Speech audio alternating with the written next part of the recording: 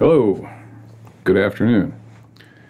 This is Chuck, and we are discussing presenting drum number J12, Juliet 12. This is a thick elk hide drum, and it's a very deep tone. This one is a 17 and one half inch diameter drum. It's the uh, previous generation drum where I had put the, um, I was using tung oil on the frame. And so this is uh, one of those.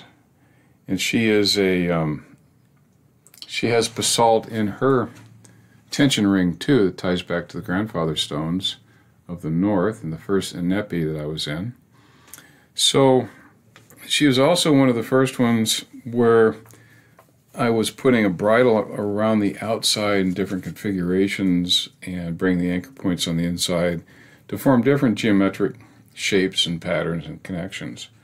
So every time I make one, I always kind of come up with some different way, creative way of making the drum. So anyway, this is J12, and uh, I will play her here, and uh, I always play the fingertips first and then finish up with a mallet and give you a little bit of journey time with the, uh, the short beat. So anyway, close your eyes, sit back, and hopefully uh, the drums that are in the spirits will uh, have a chat with you and uh, go off into Journeyland.